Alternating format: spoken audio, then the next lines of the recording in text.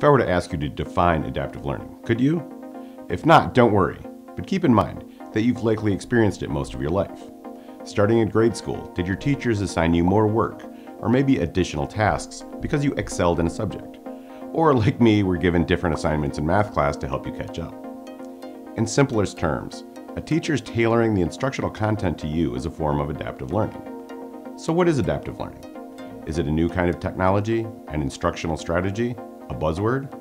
The answer to all these questions is yes, kind of. The heart of adaptive learning is the idea that learners should have as personalized a learning experience as possible. As a learner, I should be able to get tailored information to me that is relevant.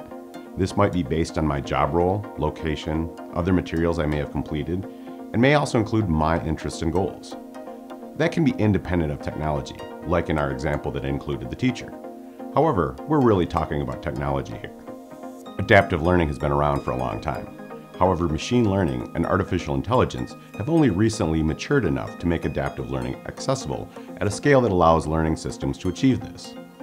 This makes assigning work and monitoring personalized progress now possible for everyone from large corporations to five-person teams. Adaptive learning results can vary, but in studies done in creating SparkLearn, it results in better retention, completion of content faster, and more satisfaction on the part of the learner. It reduces facilitator workload and can save your organization resources. You can check out this research at the link below. You don't have to take my word for it. Let's take a look at how this might look in practice. In this example, the system is offering up a pretest that gauges my understanding of a specific topic. I'm presented a series of questions and complete a short quiz. Based on my answers, some of the following content is marked complete. Because I, as the user, already have understanding of the concept. I can always choose to review it and go back on my own, but for now it's marked complete, so I can move on to other topics.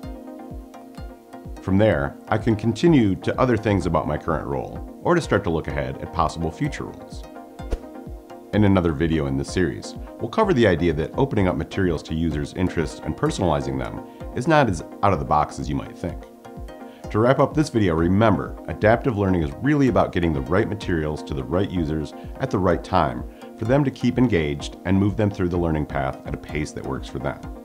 If you're interested in keeping up as we add to the series, make sure to subscribe. Also check out the white paper that we worked on with the Learning Guild titled Adaptive and Personalized Learning. And to see how we do adaptive learning and how digital learning is done differently, head to sparklearn.com or reach out to us at hello at sparklearn.com.